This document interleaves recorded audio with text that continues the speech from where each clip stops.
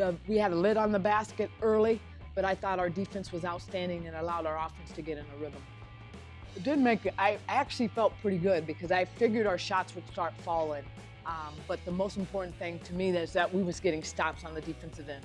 Uh, the last two games we've given up 79 points, and we really talked about going back to what allowed us to be successful early, and it was our, our ability to defend and rebound the basketball, and that's what we did tonight.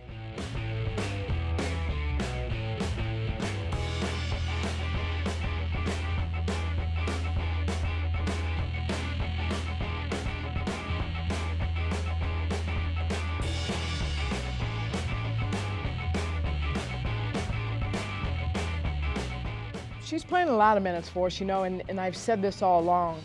Uh, one of the things that I talked to AJ about when Jen got hurt was don't worry about playing in Jen's footstep. You be the best you.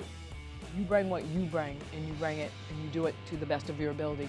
And she has done that. Um, we would not be where we are, and we would not have the success that we've had since Jen gone down had she not embraced her role and then take it, taken it to an, another level in terms of what she's done on both ends of the floor for us.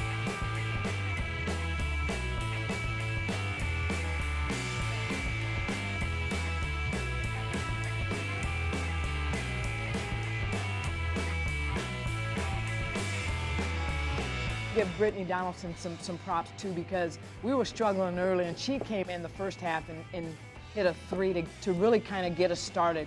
So our bench contribution was outstanding tonight.